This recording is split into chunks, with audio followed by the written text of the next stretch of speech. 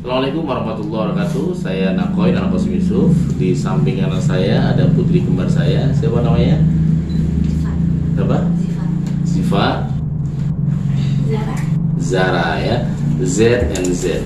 Zara dan Siva. Dua putri saya ini usianya sejalan dengan uh, buku Seven Wonders 13 tahun ketika ketika momentum waktu itu adalah semuanya rasanya impossible, semuanya rasanya nggak mungkin. Saya masih ingat ketika datang ke dokter mengatakan apakah anda punya keturunan kembar, saya bilang nggak ada. Dokter mengatakan mustahil.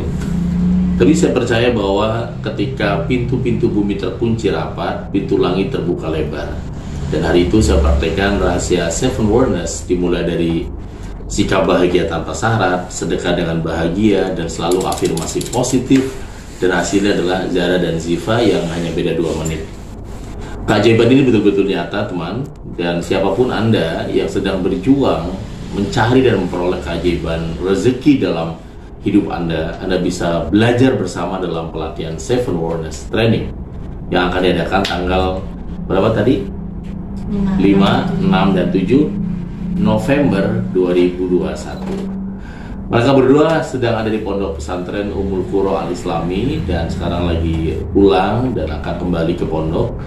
Dan Zara seperti suaranya serak habis tampil nyanyi uh, solawat ya sehingga serak sementara Siva pilek seperti dari luar kota juga ya.